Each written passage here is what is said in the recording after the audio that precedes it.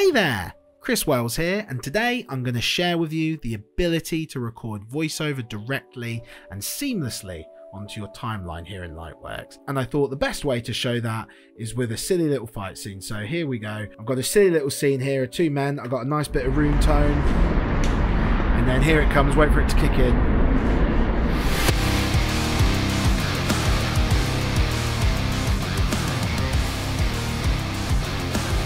I'm not going to lie, the fighting is a bit disappointing, but that's okay. You know, these people were giving it their best. It definitely wasn't a choreographed thing, but that doesn't matter. But what we'll see is we've got the nice little, you know, three, two, one, and fight. And I feel like, you know, it's missing something. It's missing that voice. And we know we could go off and pay for a professional sound effect or a good recording or something like that or we can record it and do it ourselves here in Lightworks. And that's what I'm going to do today. And it's very easy. You can record anything. And in fact, it's just as easy as pressing this button right here.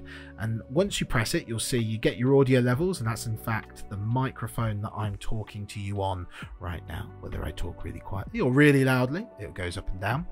It tells you the target, so what track it's going to go on. At the minute, it's on auto, which we don't really want. It's always best practice to put your voice voiceover on a separate track so you can keep track of it all, as well as your pre roll, which is basically just a three second build up before it starts recording so you can kind of get into the right flow of things. So, what I'm going to do, if you press auto, because at the minute there isn't a mono track, because both of these are stereo tracks, that's the room tone and the fight music are both stereo, so it will make a new mono track. But what I want to do, I want to beat it to it. So there we go. Got a new mono track up here. And in fact, if I go record a new voiceover again and click track, you'll see now there is the ability to record it straight onto that track. So if you do have a mono track, you'll be able to record it to whichever track you want to do. So obviously, if you've been recording this a few times, you can always record your voiceover to the same track if you're stopping and starting. So that's all you need to do to get started. So there's going to be a pre-roll of three seconds. The mic level looks okay to me, so that looks good. But yeah, that's the correct device, but I can click there and go on to other devices should I need to. All I need to do is press record. Oh, the other thing I can do if I want to, and I am going to do it actually, is I can mute the other tracks on the timeline. They will still play when I go to record, and if you want that that's fine especially if you're doing adr or you want to kind of get into the scene and record things to line up obviously make sure you're wearing headphones because you want to get as perfect a recording track as possible but I want it to be silent because I'm just doing a bit of a countdown. I'm just saying three, two, one, five, so I don't need to hear anything really. So there we go. So, oh, make sure it goes back to A1.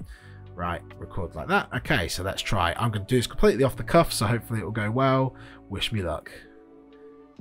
So it's initializing, pre-rolling, and here we go. Three, two, one, fight! And there we go. It's recorded, so let's see how that goes. Let's see how that was. Three, two, one, fight! All right, so actually doesn't sound too bad. Um, so the first thing I do, I'm going to go to toggle audio levels. And I'm going to turn it up a little bit. There we go, because once all the music and stuff gets its claws into it, it's going to be quite loud. So let's listen to it again. Three, two, one. The other thing you can do three. So also, once this is done, this is now just a normal clip like it would be anything else. So in fact, you can just click up here and rename it. So let's just call this countdown take one. And then even if I delete this off the timeline, that will still exist in our project there. So if I delete it, it will always exist in our clip manager up there. But what I'm going to do now is I'm going to use some effects. So the first thing I'm going to do, I'm going to plonk a compressor on there just to bring it up a little bit louder. So let's try that again. Three, two. There we go. Yeah, I like that. Let's add a bit of reverb on it. Three.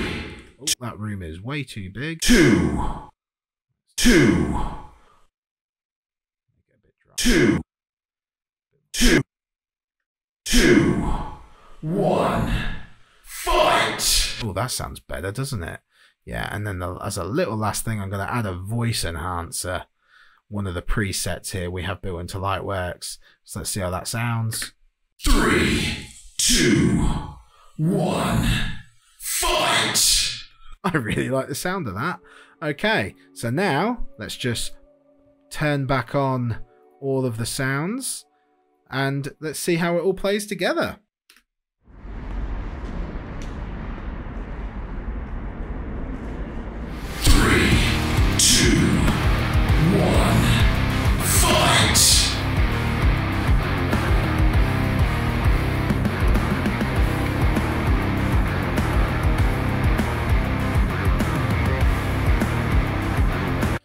You the fighting was a bit disappointing. But there you go. That's how easy it is to make voiceover in Lightworks with the simple click of a button.